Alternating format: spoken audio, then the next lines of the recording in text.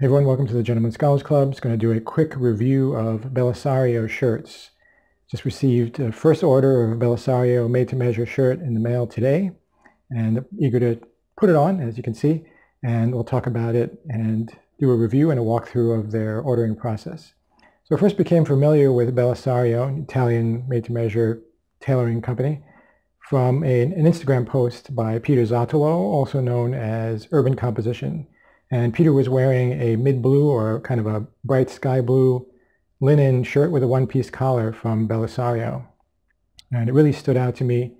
I've been a fan of the one-piece collar recently uh, because my face is on the wider side. And if I wear a spread collar, it can possibly make my face look wider. So the ideal collar for me is sort of one that is more narrow, uh, which counteracts the wider nature of my face. And that means button-down collars. It can mean um, long point collars. But I really like the one-piece collar uh, because it gives you more of a uh, relaxed, vacationy vibe, uh, a little bit of a rakish look, if you want to use that term. And uh, so I've been preferring those, especially for summer. Since I've not been wearing a tie, and haven't been interested in wearing a tie recently, uh, the, for me, the shirt collar really has to do the job of the tie then to make your outfit look interesting. Both the shirt and the collar have to do some of that heavy lifting that would otherwise be done sartorially by a necktie. And so the one-piece collar does that again because it has a really nice collar roll and it gives you a nice V shape here. Um, so I, I wanted to try the one-piece collars. Not too many places make them or do them really well. I have a separate video on this coming up. And uh, Belisario did offer that, so I wanted to give them a shot. Unlike Fralbo or uh, Cordone, which have relationships with web-based sellers like uh, The Rake, Belisario doesn't seem to have as wide a profile outside of Italy. It's not well known in the online menswear world, as far as I can tell. I didn't see other reviews or, or that many mentions of it, other than Peter's Instagram post. When I went to the site and clicked on create your shirt, I did find they had a, a large selection of fabrics, um, which were enticing. Right? They have under a category of white shirts, for example, um, a tremendous, tremendous range of items. Uh, for instance, Oxfords, um, cotton linen mixes in various percentages of the two fabrics. They have a seersucker, they have twills, and then they also have um, for summer and various weights. These are the mesh-like fabrics for warm weather wear. And um, also even the um, higher thread count items or the luxury cottons like poplin white sea island. High-end materials, you can tell by the price. And then the super fine 300 thread count Egyptian cottons, uh, the Giza 45s which in shirting are considered the finest of shirts. So they did have um, an ample range of options there, which was great. Um, outside of that, they have um, linens, jersey, and um, denim, other fabrics, uh, all types of shirting fabrics, shirting materials that you can think of in a good range within each. So I selected linen so looking for a summer shirt, and the second one here was the one I was interested in. It's in the right color and stripe size. And for each of the fabrics, you can just pop it open and blow it up and get some details about it at the bottom, as well as look at the fabric more closely. Once you select the fabric, you then have the option of collars. And again, there's a wide range English collars, French collars, Italian collars, various button downs. I was looking for a one piece. Uh, the shawl collar that they have here called the Capri is a one piece, but it has visible buttons, which I'm not a fan of, so I selected instead uh, the Ischia collar, which has no buttons. So if you select that, it's a bit of a upcharge, only three euros though, so not considerable.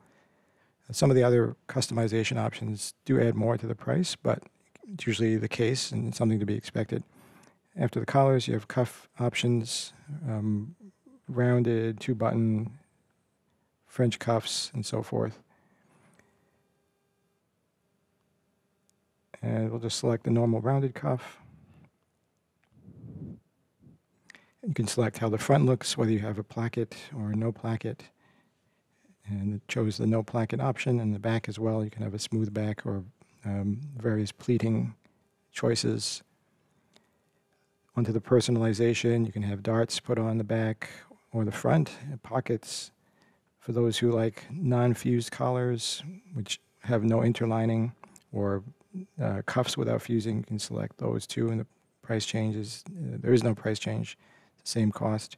You can even order spare collars and cuffs for some of the fits. It doesn't work for one-piece collars because it's made from the same fabric as the, or the same piece as the body of the shirt. But if you choose other collars, which are separately sewn on, and cuffs, you can get extras for replacement purposes.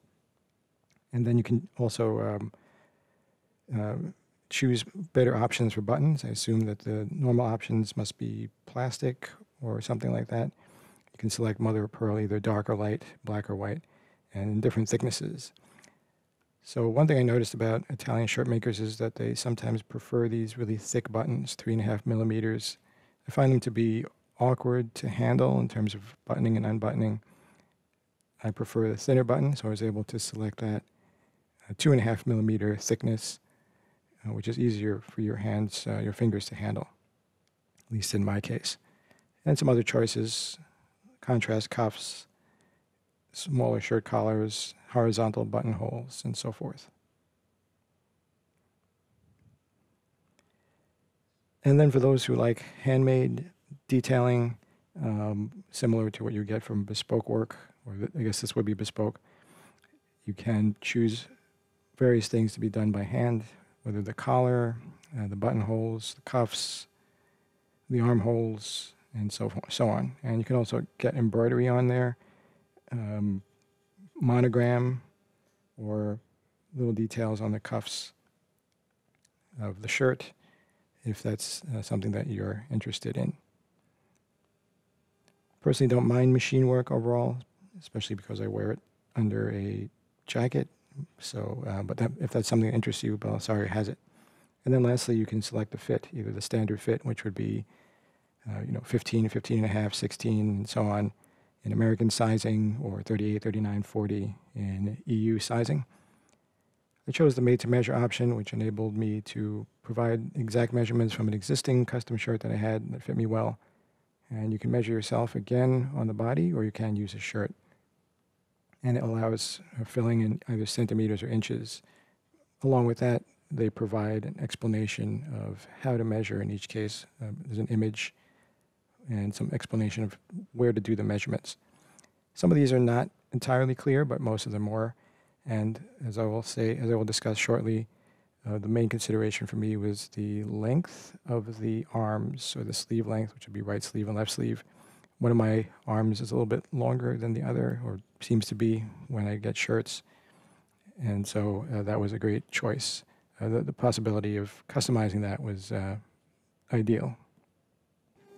So this is the finished shirt, and I know it can be difficult or challenging to see the fit in a video or on a, in a photo, but I think you can gauge that this fits pretty well. Um, and is made from custom sizes that I provided due to um, a shirt, from, based on a shirt that I already own.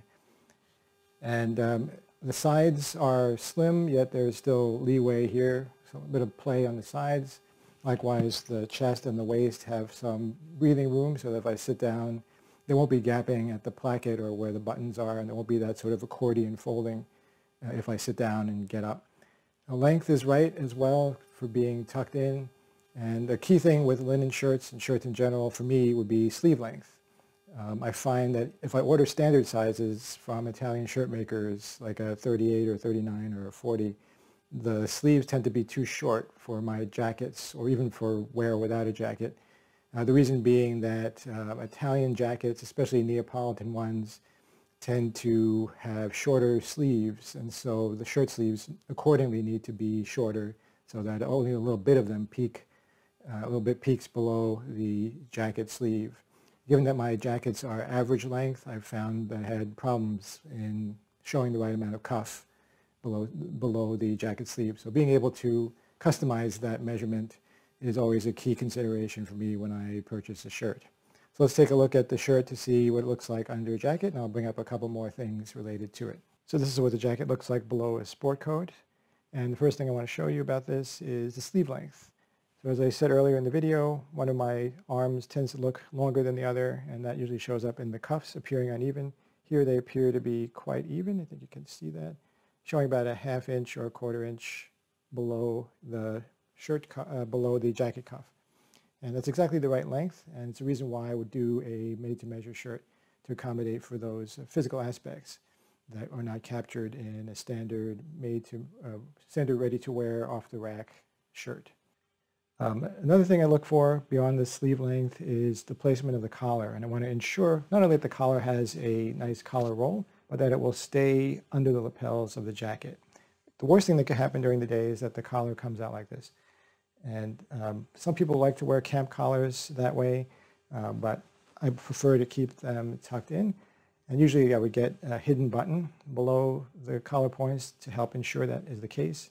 I don't want to have a visible button though, so I was kind of concerned that the Belisario collar, which doesn't have a button, would kind of bleed out over the lapels. However, I find that it's shaped in such a way that it maintains that collar roll but it doesn't look like it will pop out over the lapels. It has kind of a narrow uh, and narrow shape to it, and the folds or the roll of the collar uh, looks like it'll be staying under the lapel.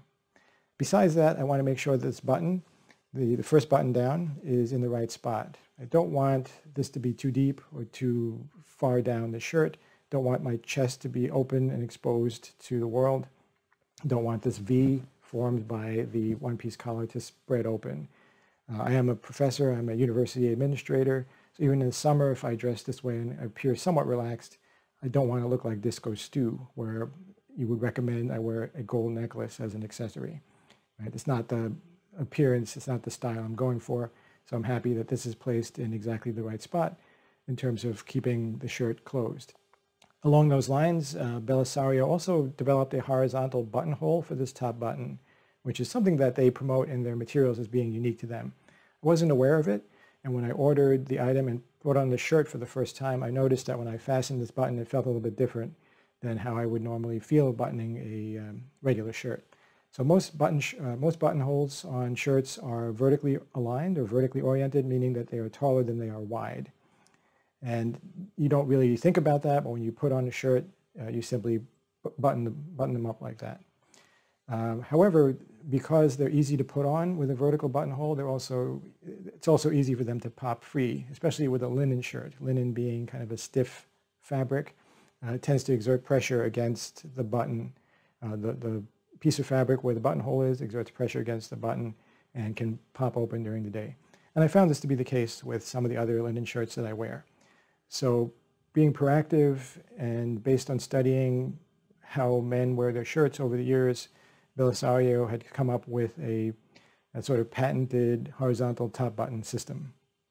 And what that means is this button is simply oriented this way as opposed to that way. If you find a horizontal button anywhere on a shirt, it'll usually be the bottom button. And that's also designed to keep the shirt around your hips and not allow it to open up and uh, sort of pop out. By putting it up here, they achieve the same effect. This will not pop open during the day as I walk around, do my business, get up and down, do normal activities. And I really appreciate that. It's not something you need to pay for either.